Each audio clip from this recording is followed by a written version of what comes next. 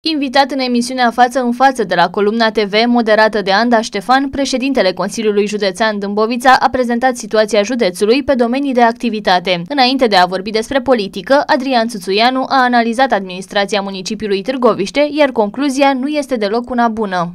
Îi invit pe cei care nu mai pot lăudând să meargă în cartierul Prepeleac, să vadă că sunt trei sferturi din străzi neasfaltate, să meargă în Matei Voievod, da? care e un cartier cu oameni harnici, unde străzile sunt ca după bombardament, iar dacă nici așa n-au înțeles cum stă, stau lucrurile în Târgoviște, invit să meargă cu mine în uh, cartierul de la Romlux, unde trăim ca în evul mediu, adică nu există drum, nu există apă, nu există canalizare, există din când în când electricitate, o mizerie de nedescris. Și astfel, discuția a continuat până la subiectul PIDU, care a devenit viral în mediul online prin preluarea afirmației lui Adrian Țuțuianu de către toate site-urile de știri. Acesta a spus că există neconcordanțe serioase între planul scris și lucrările din teren. Da, avem planul, dezvolt...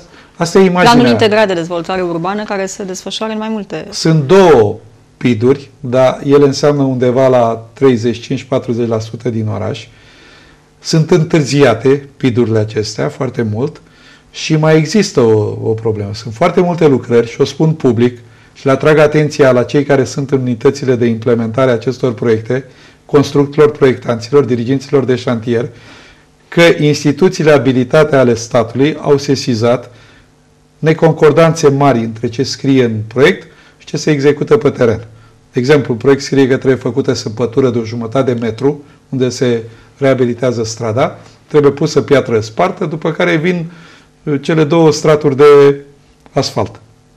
Da? Dacă nu se face așa, e o problemă. Și nu s-a făcut? În multe locuri nu. Reacțiile nu au întârziat să apară, iar city managerul municipiului Târgoviște, Gabriel Cioacă, a profitat de prezența într-o altă emisiune, tot de la Columna TV, riposta moderată de Marius Dumitrache, pentru a da o replică afirmației făcute de președintele Consiliului Județean Dâmbovița ori Adrian Tuțoianu e ofițer acoperit uh, și primește rapoarte zilnic, ori uh, a răspuns unei uh, solicitări de-a mea, pentru că eu sunt manager pe PIDU am zona micro 6, și într-o discuție pe care am avut-o cu domnia sa, i-am spus că uh, proiectul e cam prost. E adevărat, scris cam prin 2007 început.